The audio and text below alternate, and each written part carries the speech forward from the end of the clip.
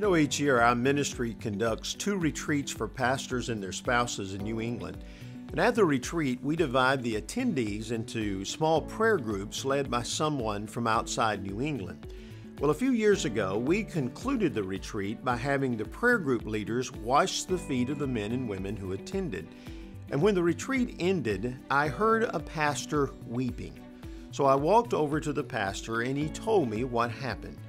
Two years earlier, he and his wife planted a church in a small New England town, a town without any gospel witness, and it now seemed their efforts failed.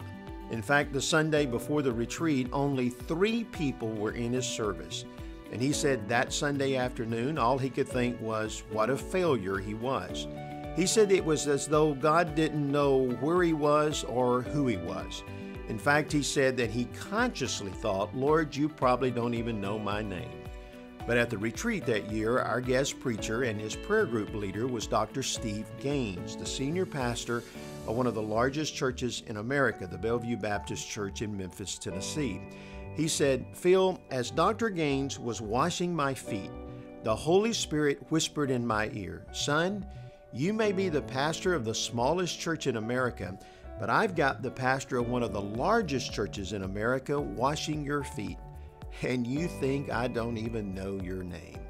Well, today you may feel like a failure, but believe me, He knows where you are and He knows your name.